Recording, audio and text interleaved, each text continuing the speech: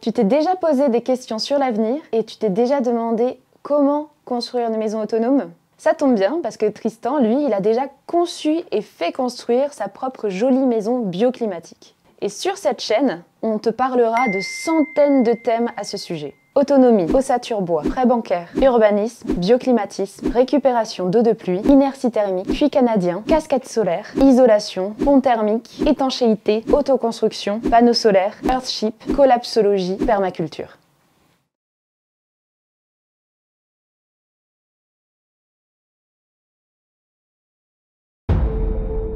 Le garage, du coup, il est au nord, donc il est derrière la maison, et il est euh, au nord-ouest. C'est-à-dire, c'est l'angle, l'angle du garage, c'est celui qui récupère le plus le froid et la pluie. Parce que la pluie ici, elle vient, euh, elle vient d'ouest.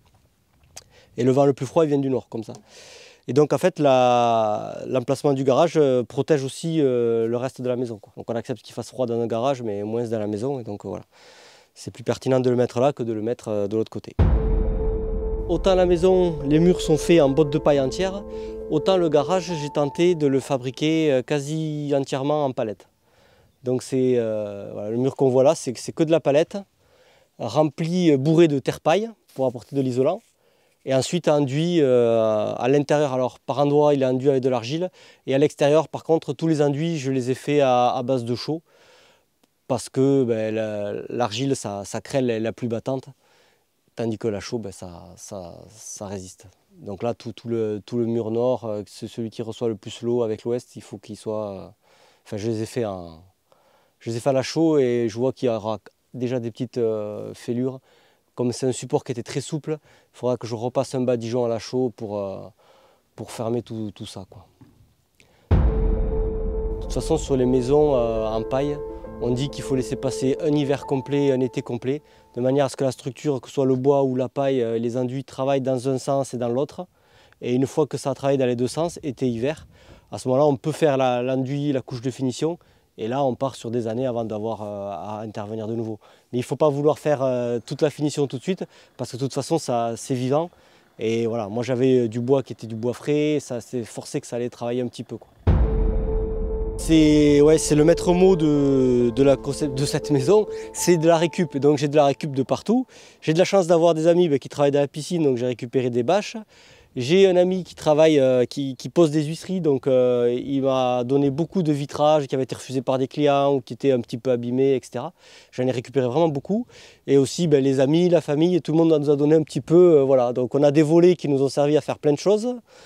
On a ces vitres-là c'est des vitres qui font 1m80, c'est du triple vitrage.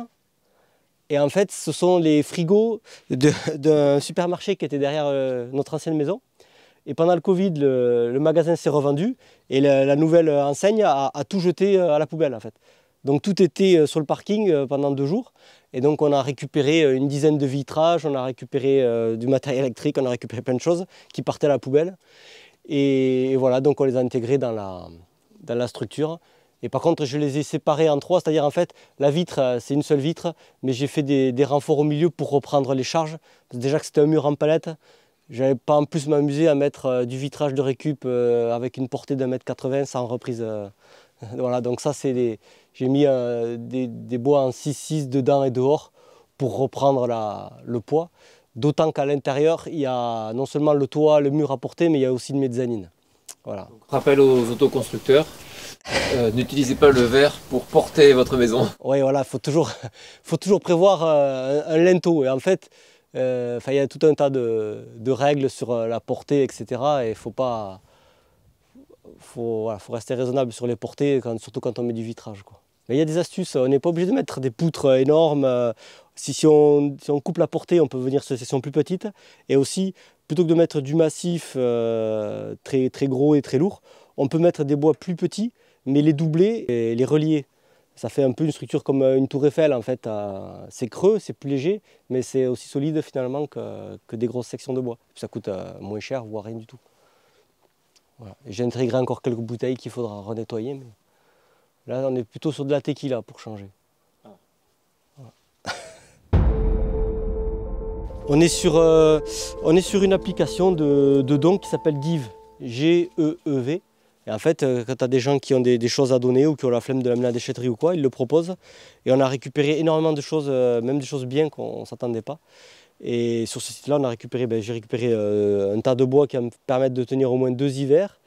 j'ai récupéré ben, des palettes, j'ai récupéré ce portail, ça c'est assez incroyable. J'ai récupéré un sommier qui, en fer qui m'a permis de, tamiser le sable ou la terre. Enfin voilà, plein, de choses comme ça. Par exemple là, ce portail, c'est un portail qui coûte 150-200 euh, euros dans les magasins. Attention à toi, que je te fasse pas mal. Et en fait, les gens l'ont remplacé par un portail euh, plus moderne électrique et le donné. Avec la clé et tout. Et donc voilà, il a pris la place ici. Au-dessus, on a encore du vitrage de récup. Ça, c'était les fenêtres euh, du fils de mes anciens voisins. Comme ils savent qu'on récupérer, ils nous les ont données aussi. On a juste en parpaing cette partie-là autour du portail parce que je, voulais quand même quelque chose de solide pour tenir le portail. Et puis on n'est jamais à l'abri euh, en manœuvrant de, cogner un mur, donc euh, vaut mieux cogner dans du parpaing que de cogner peut-être dans de la palette en bois. Et la poutre métallique, c'est pour t'aider à soulever les... Alors la poutre métallique, c'est de la récup aussi. Ça, ça coûte euh, quasiment 100 euros du mètre linéaire. Et moi, pour 100 euros, j'ai récupéré 24 mètres. 4 fois, 4 fois 6 mètres. Et donc, alors je la laisse dépasser pour pouvoir y mettre un palan et pour pouvoir bricoler. Parce que comme j'aime bien bricoler, ça m'est déjà arrivé de devoir remplacer un moteur euh, sur une moto, quelque chose comme ça. Ça peut être toujours pratique euh, de pouvoir accrocher une poulie, un palan et de bricoler devant. Quoi. On a une ondée qui arrive là. Et bien. Dans 5 minutes, voilà. Alors avec cette façade, on va juste, être, juste finir avec la... trop tard. Allez, rentre, rentre, rentre. Donc là, j'ai pas encore, ben, j'ai pas enduit. Donc on voit encore le, ben, le terre-paille. Et donc voilà, bah, c'est de la palette. Alors là je me suis débrouillé pour avoir euh, de la palette Europe puisque c'est les plus costauds, au moins pour la première partie. Et euh, donc je les ai structurés, là tu vois ça c'est du bois d'ossature, c'est du Douglas. Et ça m'a permis de reprendre euh, le niveau, voilà, avant d'attaquer une rangée de plus, de reprendre le niveau, d'uniformiser le niveau et, de monter. Et donc bah, après l'emplacement des fenêtres du coup correspond à deux palettes, voilà, on s'est adapté au matériau de construction qu'on avait. Et juste au-dessus, euh, c'est aussi ce que je disais, c'est que ça me reprend le, plancher de la mezzanine. Donc poser directement le plancher sur le vitrage, c'était un peu risqué, c'est pour ça que j'ai coupé la, portée du vitrage. Quoi. Là, dans l'idéal, il aurait fallu que je, que je mette euh, un bois plus épais ou plus, plus haut en tout cas. Mais voilà, je ne pouvais pas. Je pouvais pas. Alors il aurait fallu que je recoupe les, palettes, mais à ce moment-là, je perdais de, la solidité. Quoi. Euh, ici, on voit la, ben, ça c'est nos futurs euh, meubles de salle de bain et meubles de cuisine qui sont en attente. C'est du, du, bois, euh, des planches non délignées. On aime beaucoup la, forme naturelle des dosses. Quoi. Et on a fait pas mal de choses avec ça. Et du coup, c'est du bois qu'on achète directement en Syrie. C'est pas très cher, c'est costaud et on peut, faire, faire beaucoup de choses avec. C'est intéressant. En Syrie aussi, tu as une petite astuce. Ils vendent des ballots qui correspondent à peu près à un cube de bois de bois d'ossature, du Douglas. Et en fait, c'est toutes les chutes, toutes les doses, etc. Mais il y a de tout. Il y a, toutes les épaisseurs, il y a des choses qui sont assez propres. Il y en a, c'est vraiment euh, la, le, bout de la dose. Mais euh, ils vendent ça 24 euh, euros le cube de bois. Et donc, tout ce qui est récupérable pour bricoler, ben, c'est toujours ça de prix. Et le reste, ça peut aller au feu. Donc, ça, ça vaut le coup. C'est intéressant comme, comme astuce. Et là, on voit la, structure euh, des murs principaux, donc euh, est, ouest et nord, avec euh, la technique paille-grèbe. C'est-à-dire que la construction en paille, il y a quatre ou cinq techniques différentes. Et j'ai longtemps hésité. On a retenu celle-ci pour deux raisons. La première, c'est que ça a été conçu par des autoconstructeurs. Donc ils sont vraiment partis de la botte de paille et ils ont inventé la structure autour. Et du coup, les sections de bois sont des sections très fines et euh, on peut tout faire avec du matériel euh, basique. C'est-à-dire, toute la maison, on l'a faite avec cette machine, tu vois, avec ce scie anglais. Toute la structure de la maison, on a été découpée qu'avec ça, quoi. Il n'y a pas besoin d'engin de levage, il n'y a pas besoin d'engin de découpe euh, coûteux ou encombrant ou quoi que ce soit. On peut tout faire voilà, avec des, outils simples que peuvent avoir tous les bricoleurs. Ça sert à tout. Et alors en plus, moi j'ai de la chance, c'est qu'entre mon père, les amis, les oncles, la famille, euh, on a quasiment utilisé que des outils qui étaient déjà présents dans la famille en fait. Et moi, j'ai acheté euh, une perceuse, euh, voilà, j'ai acheté deux perceuses. enfin, une visseuse à choc et une perceuse. Et ça, c'est à mon beau-père, enfin, ça, c'est à mon père. Enfin, tous les outils, c'est du prêt. Et dès qu'on a fini, on va le rendre. La, la bétonnière, c'est du prêt aussi, etc. J'avoue que la visseuse à choc est le deuxième qu'on utilise. Euh, ah ouais, surtout pour la structure bois, c'est vraiment chouette. Et donc, ouais, je te disais, le, deuxième euh, intérêt de, du greb, euh, c'est que par conception, il n'y a aucun, aucune pièce traversante. C'est-à-dire que tu as une structure d'un côté, une structure de l'autre, et au milieu, tu as tes bottes de paille. Ce qui fait qu'il n'y a aucun pont thermique par conception déjà. Tandis que la plupart des maisons ossature bois, en fait, l'ossature est dans l'autre sens. On met des éléments verticaux traversants. Alors même si le bois c'est plus isolant que du parpaing, mais euh, du moins que c'est traversant, ça te crée quand même un petit pont thermique. Tandis que le fait de faire la structure dans l'autre sens avec les bottes en continu, tu n'as aucun pont thermique euh, déjà de, par le concept. Et après, il y a une dernière euh, raison qui me l'a fait adopter cette technique-là, alors qu'à la base c'était celle qui me plaisait le moins, c'est que tu peux construire en plein hiver, alors que la plupart des maisons en paille, il faut les faire l'été, parce que la paille ça a plein de qualité, mais ça crée la flotte. Tandis que là, tu montes chaque journée une rangée de bottes de paille. Du coup, tu as d'abord ta structure qui est en place. Tu mets ta botte de paille.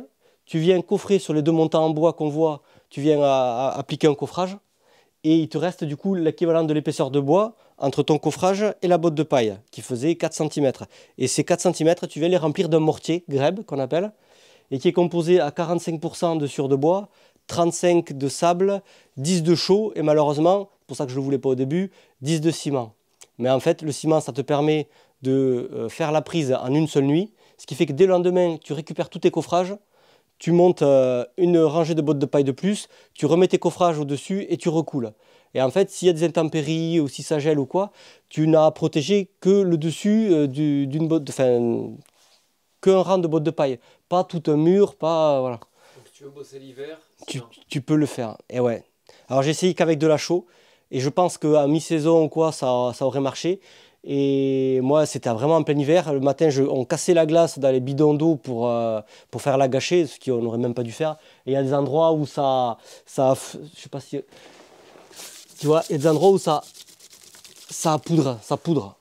Alors là, bon, cette partie-là, je l'ai laissé brute, je l'ai pendu, mais tu vois, voilà. Là, tu vois que ce jour-là, il faisait trop froid, on n'aurait pas dû travailler ce jour-là, tu vois. Tu vois ah alors j'ai 4 cm, je suis tranquille, ça risque rien, puis bon, on est à l'abri. Mais tu vois, ça, si, tu respectes le dosage avec 10% de ciment et si tu travailles euh, au-delà de 5 degrés, ça ne doit pas arriver. Mais nous, on a travaillé avec des températures négatives, voilà, bon. Moi, je voulais avancer, je suis têtu, et voilà. Mais bon, après, sur la, sur la solidité, ça, ça risque rien, puis je, peux encore l'enduire maintenant que c'est fini. Mais comme c'est le garage, c'est ce que je ferai en dernier, mais voilà. J'ai pensé à amener les bottes. Ouais. J'ai oublié de les mettre. bon les potos, on va vous planter là